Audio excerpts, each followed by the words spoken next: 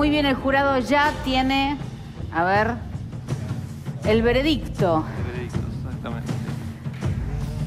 ¿Fue unánime, Fabián? Sí, ¿Sí? fue unánime. Esta vez sí. Esta vez fue Unas unánime. pocas veces. A ver, apa. Vamos a ver. Yo ya lo vi. Muy bien. Quien se queda en el taller es, por decisión unánime del jurado, los tres trabajos igual les digo maravillosos, ¿eh? Es...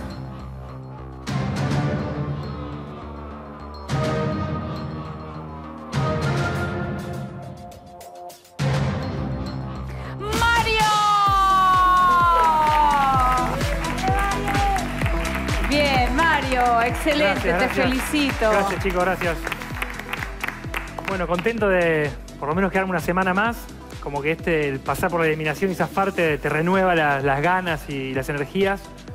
Este, así que bueno, lo mío es los, los maniquíes, me tengo que dedicar a esto.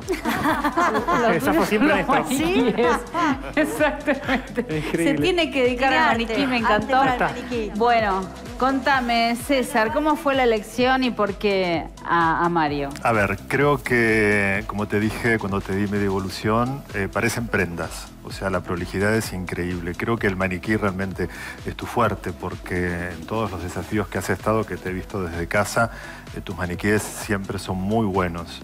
Eh, le pones eh, como mucha dedicación, sos muy meticuloso. Eh, y tu creatividad se desarrolla. Creo que la presión también de los 20 minutos eh, para el artista siempre hay dos situaciones que son límites. Eh, siempre son cuando uno está muy mal, es cuando mejor creas y cuando tenés muy poco tiempo también. Así que esa fue una de las, de las razones por las cuales votamos en forma unánime. Muy bien, Muchas gracias. Benito, ¿algo que le quieras decir a Mario? Eh, sí, la verdad que impresionante lo, lo impecable que está para tan poco tiempo y, eh, y un poco es lo que yo siempre digo, me parece que te tomaste el tiempo, pensaste, no se te vio eh, inventando sobre el momento, me encantó y la prolijidad la verdad que está muy buena. Gracias. ¿Y Fabián?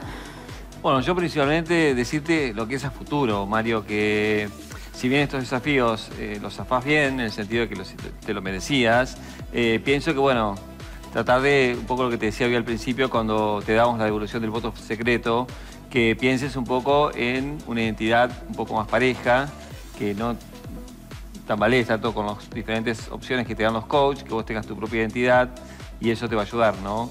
Te veo a veces un poco subir y bajar, ¿no? Me gustaría que estuvieras más estable.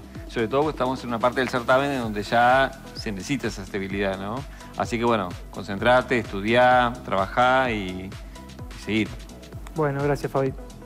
Bueno, ¿contento? Muy contento, sí. Vaya con sus compañeros entonces.